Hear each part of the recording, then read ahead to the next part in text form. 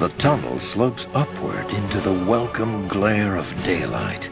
Such is your relief that you barely notice the debris at your feet, the remnants of a battle fought only moments before. Surveying the carnage, you hear a scream of rage, and a massive explosion collapses the passage behind you. The sounds of combat greet you as you struggle to your feet. The fight, it seems, is still going strong.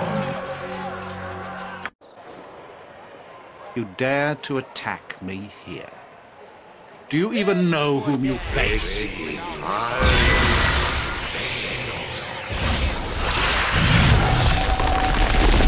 will suffer! You will all suffer!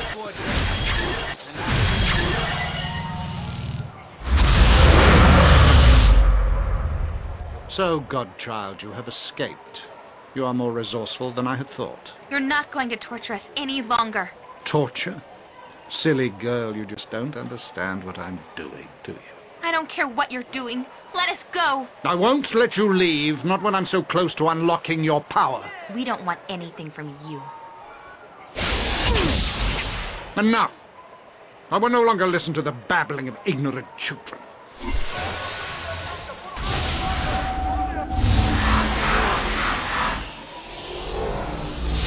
This is an unsanctioned use of magical energy. All involved will be held.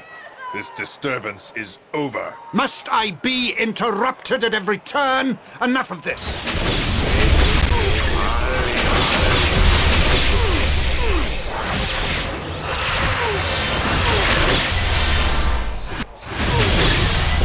This mage's power is immense. We must overcome him quickly.